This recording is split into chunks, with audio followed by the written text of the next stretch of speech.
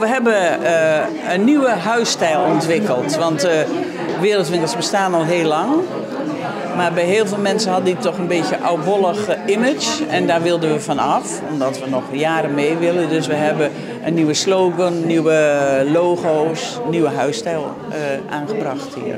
En volgens de Wereldwinkel is deze nieuwe huisstijl erg belangrijk. Omdat wij uh, door willen gaan met producten verkopen uit derde wereldlanden onder andere. Dus uh, wij moeten uh, de winkel draaiende zien te houden, om, zodat wij weer kunnen kopen in Afrika, Azië, Zuid-Amerika enzovoort. Dus om die mensen een boterham te geven, moet onze winkel zoveel mogelijk spullen verkopen. En daarvoor moeten we aantrekkelijk zijn voor klanten. De klanten vinden de ideeën van de Wereldwinkel heel mooi. Maar het is niet gemakkelijk om de winkel draaiend te houden. Nou, dat is wel een klusje. Want uh, we zijn met ongeveer 15 vrijwilligers nu. We kunnen er steeds veel meer gebruiken.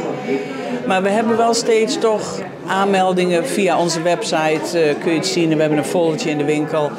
Want er melden zich wel steeds weer nieuwe aan, maar er gaan ook weer mensen weg. Ten eerste dat het een de doelstelling dat ze dus producenten uit ontwikkelingslanden, maar ook andere duurzame ondernemers een kans geven, een, hun ja, een stem geven. Uh, en dat die dus een beter inkomen kunnen krijgen op deze manier. Het zijn allemaal vrijwilligers uh, in deze winkel. Dus, dus, die hebben geen verdiensten.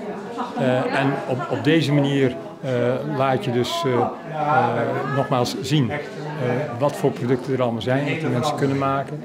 En ook dat sommige dingen, zoals bij de levensmiddelen, dat daar de wereld, de wereld niet eerlijk verdeeld is.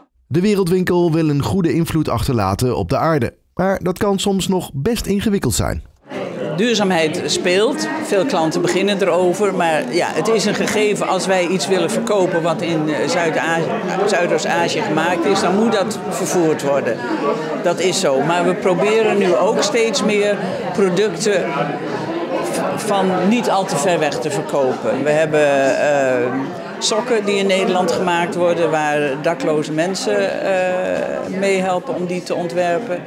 En waar voor ieder paar wat wij verkopen, de een aan het des heils wordt gegeven.